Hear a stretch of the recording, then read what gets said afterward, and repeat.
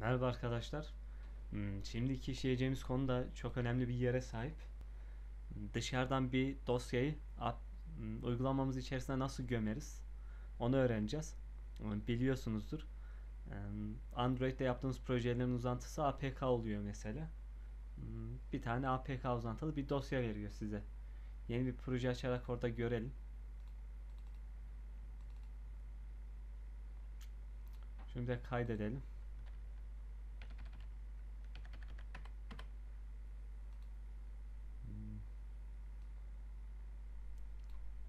Kaydettik. Ve Android seçiliyken bunu çalıştırdığımızda hmm, bu işlemin sonunda compile'ın sonunda bize bir APK uzantılı dosya verecek. Ve telefonda çalışan dosya da işte o zaten. Hmm. Bizim bazı harici dosyalarımız oluyor. Hmm, Mesela ses dosyaları. Buna en güzel örnek. No diyorum.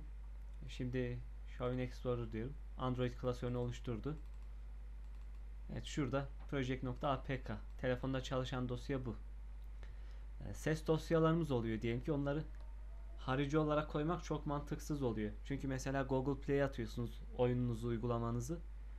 E, ses dosyalarını bununla birlikte koyamıyorsunuz oraya. Sizden sadece bir tane APK dosyası istiyor. Onun dışındaki dosyaları kabul etmiyor. O yüzden APK'nın içerisine gömmeniz gerekiyor diğer dosyalarınızı. Yani sadece ses dosyaları için değil. Mesela veri tabanı için de aynı şey geçerli. Yani küçük bir veri tabanı uygulamanız varsa hmm, onu yine uygulamanızın içerisine gömmeniz gerekiyor. APK'nın içerisine gömmeniz gerekiyor. Bugün bunu öğreneceğiz. Ee, ve şunu da belirteyim yine bunu ne emülatörde ne de Windows platformunda hani denemeyin. Bunda yine telefonda denenmesi gerekiyor. Hmm, Ben telefonda deneyip de buraya atıyorum bu videoyu. Hmm, Yani denenmiş oluyor. Kesinlikle çalışan bir yöntem. Eğer takılan olursa ben, benimle iletişime geçebilir. Şu bir dursun kenarda fakat e, bunun boyutuna sürekli dikkat etmemiz gerekecek. E, Sebebini de şöyle açıklayayım. Yani biz e, ses dosyasını veya başka bir dosyayı bunun içerisine gömebildik mi yoksa yapamadık mı yapamadık hani yapabildik mi yapamadık mı buradan anlayacağız. Eğer bir ses dosyasını bunun, içerisine gömebildiysek e, şu boyutu büyüyecektir. Bunun içerisine atacağımız dosyayı da şuradan şöyle belirledim. Mesela şunu atalım. Hmm. Bir tane şarkı seçtik rastgele. Boyutu şurada. İşte MP3 uzantılı. Uzunluğu vesaire yine burada yazıyor. Hmm.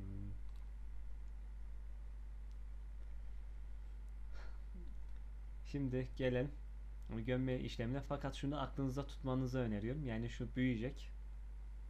Hmm. 6,514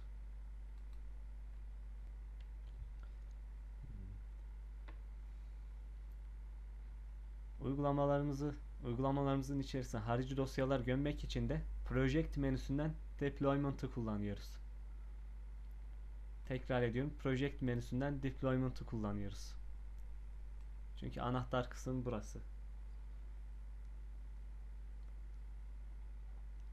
Ve yukarıda hmm, ya buradan platformu değiştirebiliyoruz. Hangi platforma atacaksak onu seçmemiz gerekiyor. Biz Android'e atacağız. Hmm, Bakın şurada başka dosyalar da var. Mesela şunlar hmm, dikkatinizi çekebilir. PNG dosyalar yani ikon dosyalar da hmm, bir nevi bu APK'nın içerisine gömülmüş oluyor. Ya da Android manifest dosyası, izinlerin yer aldığı vesaire. Diğer dosyalar da APK'nın içerisine gömülmüş oluyor. Biz bunun içerisine bir dosya atacağız ve onu nasıl yapıyoruz? Ben add files diyorum. Hmm, Şuradaki. Ve şimdi dosyamı seçeceğim. Yolunu alıyorum önce. Yapıştırdım. Evet. Seçtim. buraya geldi ama nerede? Evet şurada. Şuraya geldi. Hmm, dosyamız. Bakın platformları da burada yer alıyor. Da simülatörü mesela iOS simülatörü kaldırabilirsiniz. Hmm.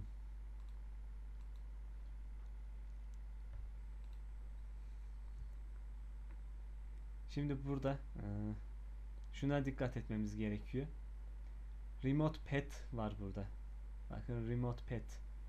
Şurada bir yol belirtmemiz gerekecek buna. Şurayı değiştiriyoruz.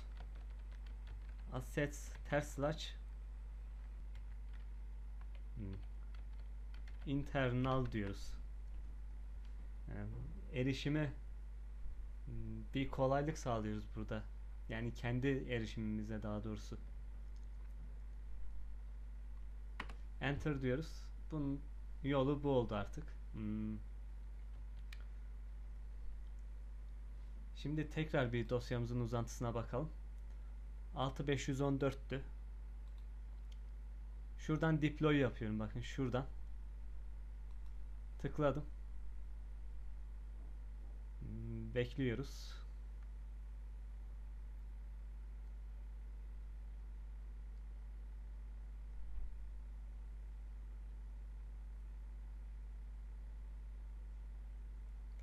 Şimdi bakalım oldu mu?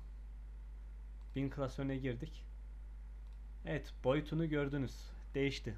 6,514 megabayttı. 14 küsür megabayta kadar çıktı. Şarkımızın boyutundan dolayı o da.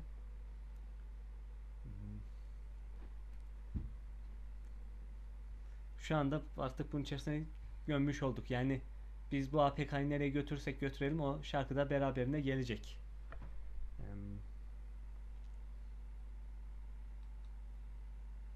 Burayı kapatabiliriz artık.